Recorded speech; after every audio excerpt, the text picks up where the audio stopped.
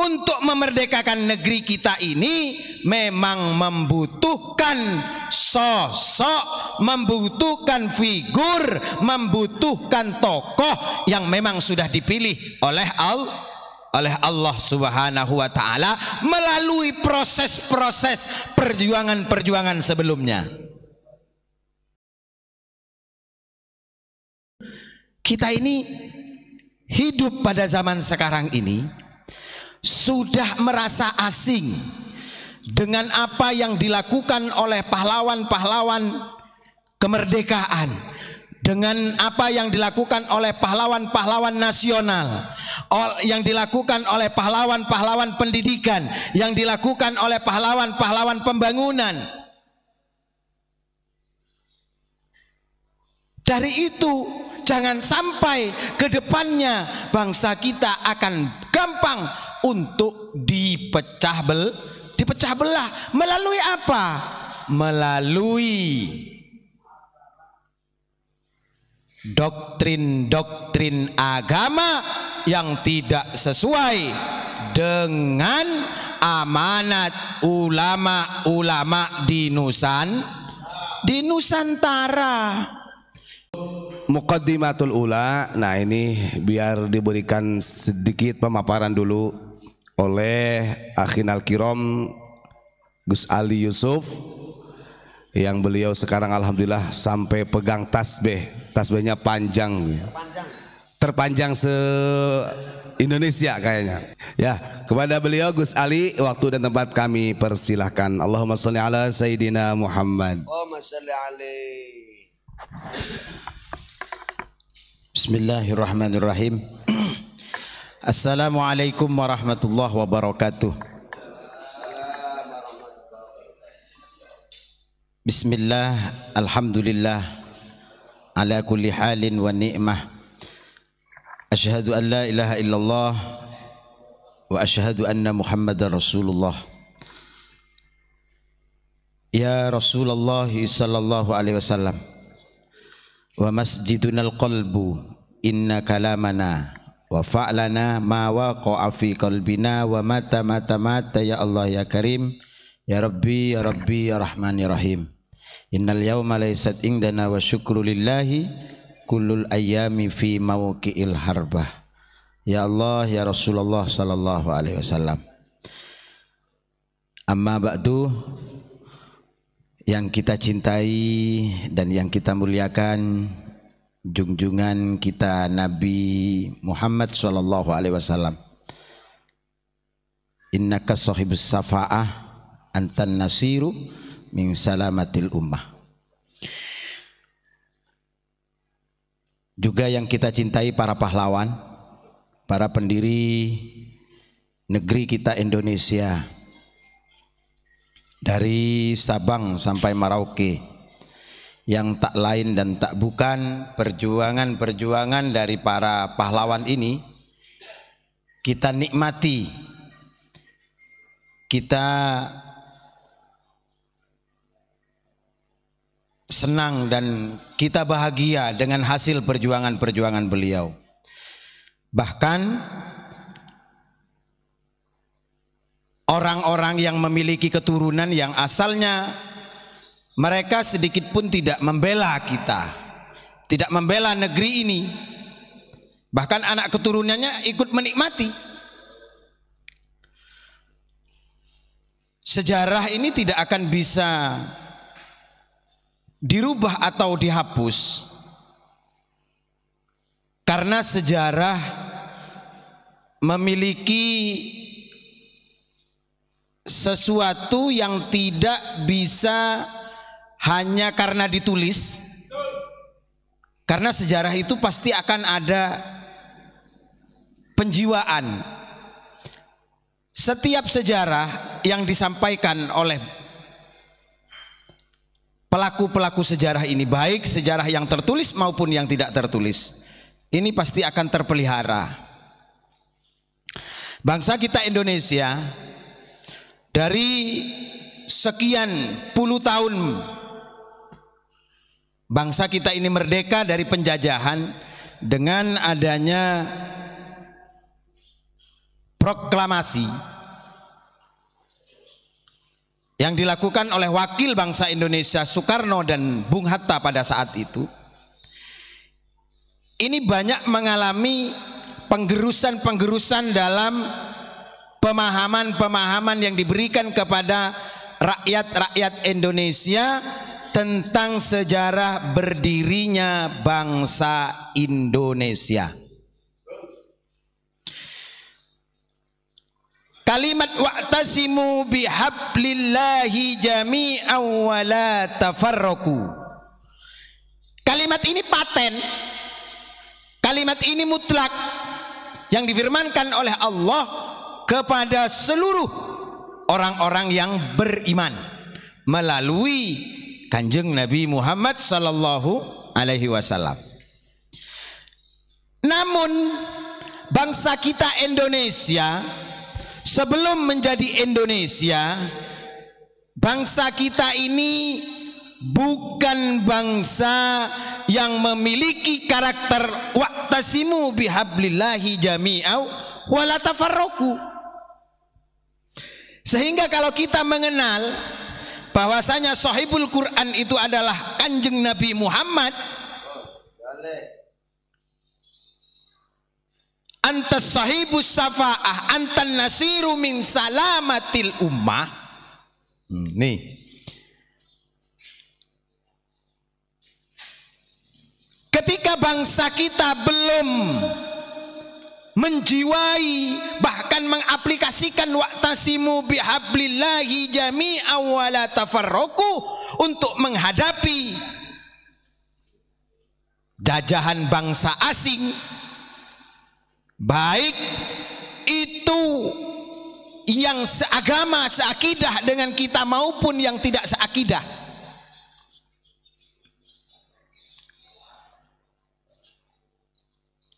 Kalimat wa'tasimu bihablillahi jami'a wa la oleh para pemuda-pemuda pada saat itu. 1909 itu dikomandoi seorang pemuda dari Madura. Bernama Tabroni. Bernama Tabroni ini mengaplikasikan mengaktualisasikan kalimat wa'tasimu bihablillahi jami'aw wa la tafarraqu. Dengan apa? Dengan mempersatukan pemuda-pemuda di seluruh Nusan Nusantara. Apakah pada saat itu tidak ada orang-orang alim? Banyak. Apakah pada saat itu tidak ada orang berani? Banyak. Apakah pada saat itu tidak ada orang yang peduli? Ada.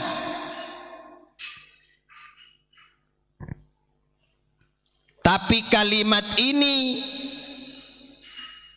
dibawa oleh pemuda yang bernama Tabrani dengan upaya mempersatukan persepsi, mempersatukan tekad, mempersatukan jiwa dan raga untuk perjuangan kemerdekaan Republik Indo Indonesia. Kalau pada saat ini masih banyak terjadi penindasan-penindasan kemerdekaan-kemerdekaan dari jiwa-jiwa bangsa Indonesia.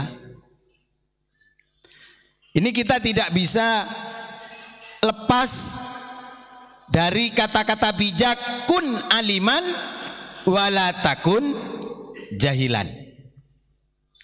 Artinya apa? Ketika bangsa kita sudah mampu memproklamasikan, memproklamirkan kemerdekaan kedaulatan negeri kita, maka kewajiban anak-anak bangsa mengisi mengisi kemerdekaan ini dengan keilmuan dengan melanjutkan cita-cita para pendiri bang para pendiri bangsa betapa hebatnya perang di Ponegoro. Betapa dahsyatnya perang Padri. Betapa hebatnya perjuangan Cut Din. Betapa gesitnya Tengku Umar. Betapa gagah beraninya Karaeng Galesong.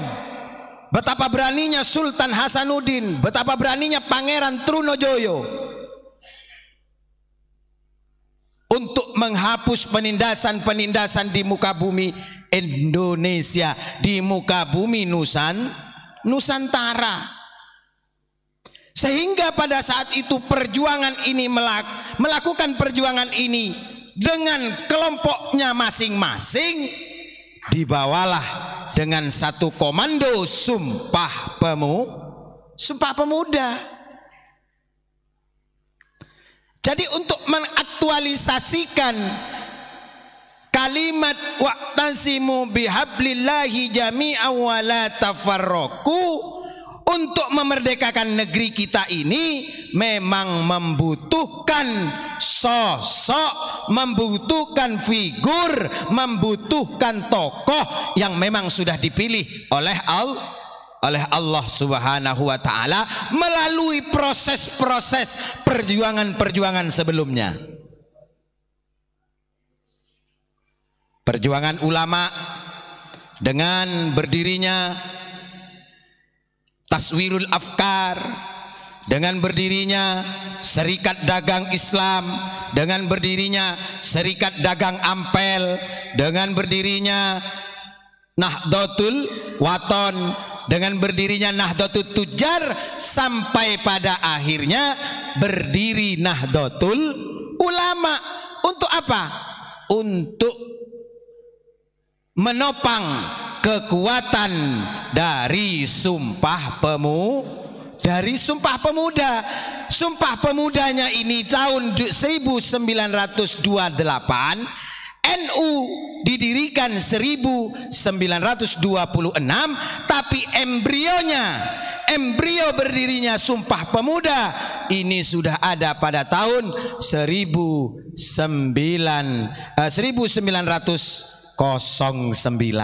Betapa hebatnya para pejuang-pejuang bangsa kita. Betapa hebatnya para pemuda-pemuda pada saat itu. Mereka tidak lagi membicarakan dengan agama siapa kita bergaul. Beliau-beliau tidak memandang suku mana. Tapi ketika mengaktualisasikan waqtasimu bihablillahi jami'a tafarraqu dengan semangat antusias untuk memperjuangkan negeri kita Indonesia merdeka beliau-beliau di bawah pimpinan pemuda Tabrani dengan yakin bahwasanya bangsa kita mampu untuk bersa mampu untuk bersatu. Kita ini hidup pada zaman sekarang ini sudah merasa asing dengan apa yang dilakukan oleh pahlawan-pahlawan kemerdekaan dengan apa yang dilakukan oleh pahlawan-pahlawan nasional yang dilakukan oleh pahlawan-pahlawan pendidikan yang dilakukan oleh pahlawan-pahlawan pembangunan. Dari itu jangan sampai ke depannya bangsa kita akan gampang untuk dipecah bel dipecah belah melalui apa? Melalui doktrin-doktrin agama yang tidak sesuai dengan amanat ulama-ulama di Nusan di Nusantara. Sekarang sudah mulai terjadi. Sekarang sudah banyak, sudah mulai terjadi. Kalau kita amati, mungkin kalau di lingkungan kita ini kita tidak menemukan betapa pentingnya bagaimana kita ini memegang teguh apa itu sumpah pemuda, apa itu proklamasi, apa itu Pancasila. Karena apa? Karena keterbatasan wawasan, keterbatasan dari pandangan keilmuan, dari pandangan sosial politik dan juga dari pandangan sos, uh, dari pandangan sosial serta pandangan pergau pergaulan. Tapi ketika ada sesuatu yang memaksa kita untuk berbuat bagi negeri ini, tentunya para pemuda-pemuda di Indonesia akan menjadi garda terdepan untuk menyelamatkan dan untuk menjadi perisai dari persatuan negeri kita Indo Indonesia. Kira-kira begitu dulu untuk mukaddimah membicarakan tentang Indonesia ini eh, sesuatu yang mengasihkan. Karena ada begini, banyak dari negara-negara lain yang ingin belajar toleransi dengan Indonesia. Toleransi beragama, toleransi dalam bersuku, toleransi dalam berbahasa, toleransi dalam berpolitik. Indonesia menjadi kiblat bagi filosofi-filosofi bangsa lain. Ada apa dengan bangsa kita ini? Karena sesungguhnya bangsa kita ini tidak seperti bangsa lah, bangsa lain. Wallahu alam bisawab. Terima kasih Kang Ubat. Mungkin sementara seperti itu dulu. Siap. Bisa saya sampaikan. Assalamualaikum warahmatullahi wabarakatuh.